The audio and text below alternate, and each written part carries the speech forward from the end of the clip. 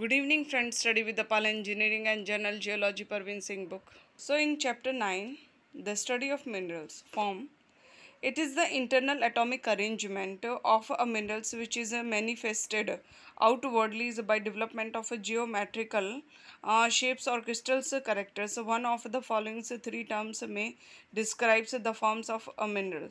Crystallized uh, whence the minerals occur in the form of well-defined crystals as represented by a crystal faces and angles or when it so perfect cleavage which is also indicative of a perfect atomic arrangement. Crystallines when uh, whence well-defined crystals are absent but the minerals show a clear, techno- uh, clear tendency towards crystallizations as evidenced by development of small grains each of which is uh, virtually uh, an incipient crystals amorphous neither a crystal's face nor a cleavage is seen. There is no evidence of orderly arrangement of atoms.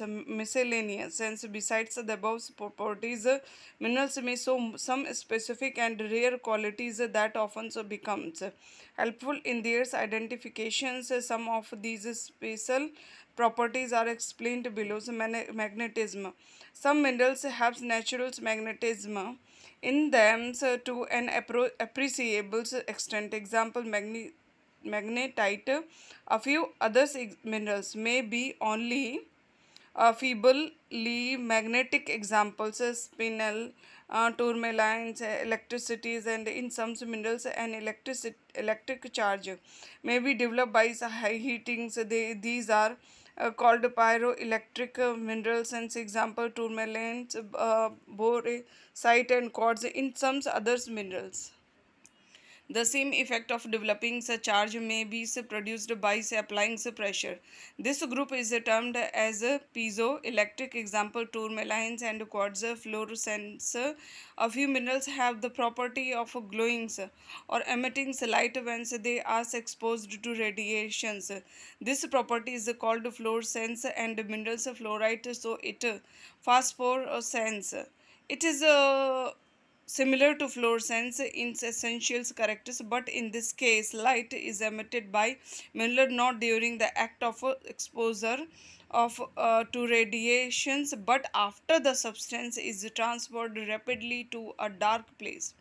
Fluorite quartz will might and diamond source phosphorescence under different conditions of visibility minerals behaves differently on heatings to elevate temperature some uh, some fuse melt easily at lower temperatures whereas others requires very high temperature. A scales of fusibility has been suggested by von Kobell it consists of six minerals arranged according to temperature of fusion stibnite 525 degrees celsius and natro Natrolite 965 degrees Celsius, almandine 1200 degrees Celsius, actinolite 1296 degrees Celsius, orthoclase 1300 degrees Celsius, and bronzite 1380 degrees Celsius. Optical property.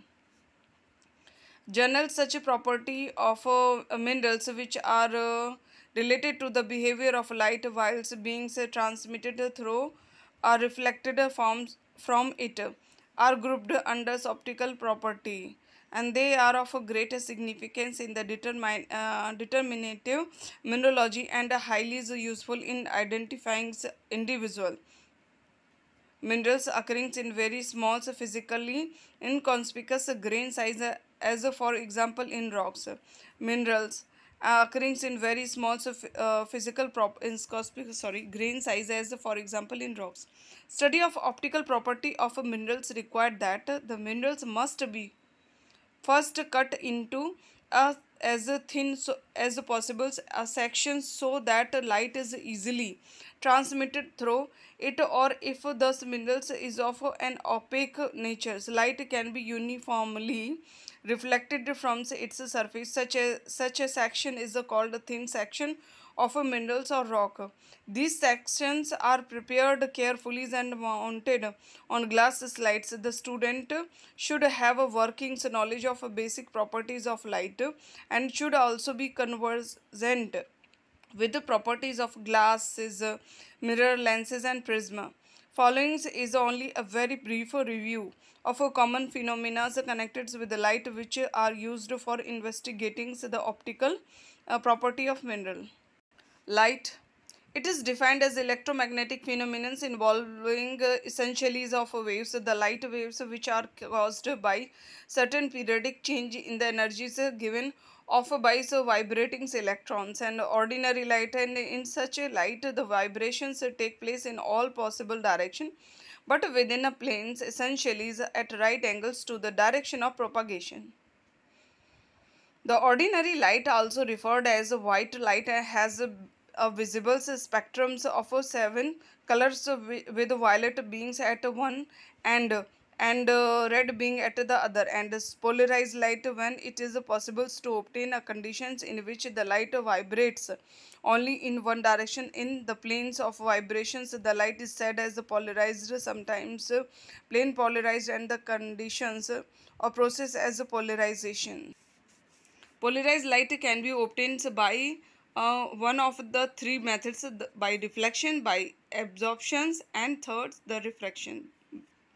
For obtaining polarized light by reflections, a smooth surface is used to reflect the light. This method, however, gives only the partial polarization. In the absorptions methods, materials having a capacity of selective absorptions for light are used to obtain polaroid light, a plate cut from synthetic materials polarized or from natural minerals. Tourmaline will also only uh, sorry will allows only that light to pass through it which vibrates along the particular directions. In the refractions methods for obtaining the polarized light used in made of a special uh, prism named after their inventors as a Nicol prism and Ahrens prism. The Nicol prism is actually a cleavage piece of mineral calcite also called Iceland island Iceland spar that uh, has been specially ground at edge cut diagonally into two polished and cemented together in such a way that an incident rays falling on it uh, gets doubly refle refra refracted explained below. Only is one of the resulting two refracted rays, the extraordinary ray, is allowed to pass through the prism. The Ahrens prism are also similar to Nicol prism in principle, but are similar in constructions. Construction these are rectangular in shape and the prism made for polarizing the light on the basis of refractions are very commonly used in the optical instrument. These are commonly referred as Nicol whether they are of first or second designs. Refract refractive index it is known that uh, when a rays of light passes from one medium to another of different densities. It uh, get uh, refracted from its normal course. The ratios between the sign of angles of incidence and refraction is expressed by the terms refractive index. It is given by the relations. N is equal to sine i upon sine r. So here where n is refractive index, i angle of incidence and r is angle of refraction. When the two media are air and the minerals, the values obtained indicate the refractive index of the minerals with respect to air. These are the values commonly mentioned in the book. Thus, n for glass is equal to 1.608 for garnet is equal to 1.75 and for diamond is equal to 2.42. So it may be mentioned here so that according to the law of refraction, the velocity of light in a substance is proportional to the reciprocal of its refractive index. Minerals with higher refractive incidence will allow the light to pass through them at a lower, velo uh, lower velocity.